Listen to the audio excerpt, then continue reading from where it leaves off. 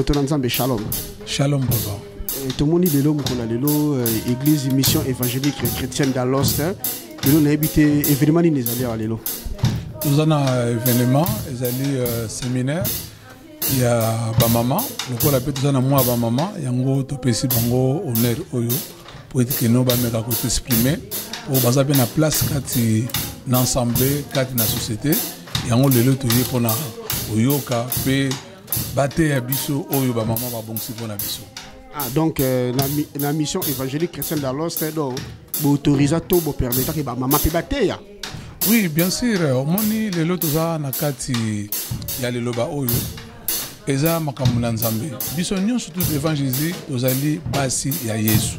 Yango omoni keno mwasi mpe aza na place na ye kati na etonga mpo keno asexprime ateya mpe sango malamu ndenge biso tozali mpe koteya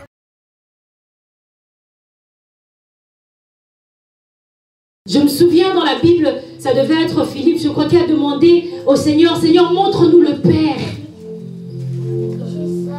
Et Jésus a dit, mais je suis avec vous pendant tout ce temps et tu me demandes, montre-nous le Père.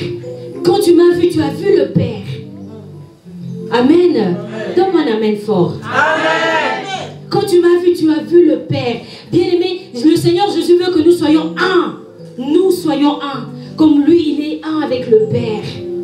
Est-ce que tu peux vraiment dire que moi je suis un avec ma soeur, avec mon frère? Est-ce que tu, on peut dire, les gens de dehors peuvent dire, Hum, les caractères là qu'il y a dans, dans Gisèle, il y, a là, il y a ça aussi dans Maman Nana. La gentillesse là qu'il y a dans cette sœur là, non, je le retrouve dans cette église là. C'est ça qui fait notre unité. Amen. Ça fait que nous nous ressemblons. Alléluia. L'unité, c'est la volonté de Dieu. C'est Dieu qui veut. C'est pas parce que le pasteur a déclenché. C'est pas parce que je suis venu prêcher sur l'unité. C'est pas parce que nous avons juste euh, organisé une conférence de femmes pour parler de l'unité. Mais c'est dans la volonté de Dieu. Amen. C'est un principe de Dieu. J'aimerais que tu comprennes ça très bien. Parce que bien aimé, quand tu vas à, à l'encontre de, de l'unité, quand tu amènes la division, tu, tu vas en fait à l'encontre de la volonté de Dieu. Amen. Tu vas à l'encontre de la volonté de Dieu.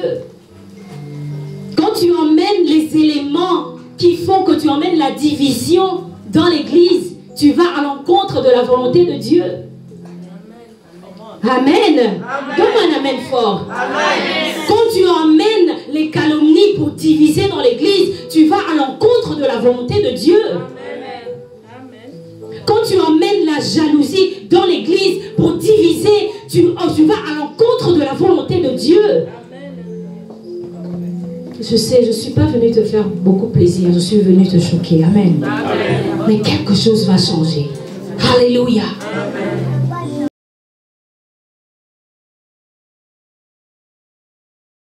shalom mama julie Shalom papa, shalom. milulu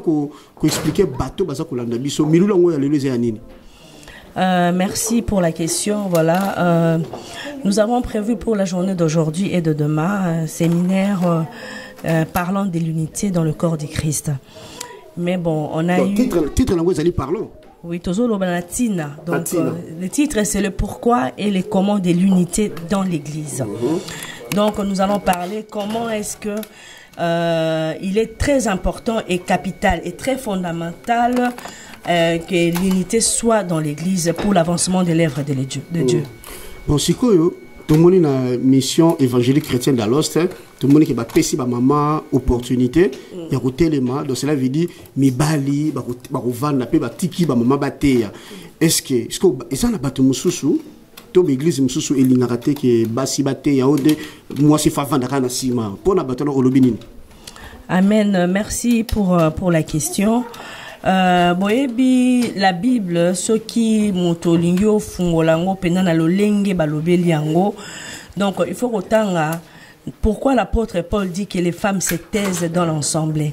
Ezalaki na contexte nini alobaki mais sikoyo ya lelo toza koloba le femme batelemi lelo bateya elingi koloba simplement quoi? L'église eza épouse ya christ. Le mari, c'est Jésus-Christ. Et si nous sommes tous considérés étant des épouses, ça veut dire que et le pasteur et la femme, on est tous des épouses. Donc il n'y a pas de sexe. Sont surtout tous considérés comme épouses du Christ. Voilà, donc il n'y a pas de différence. Une femme s'est prêchée aussi à l'église.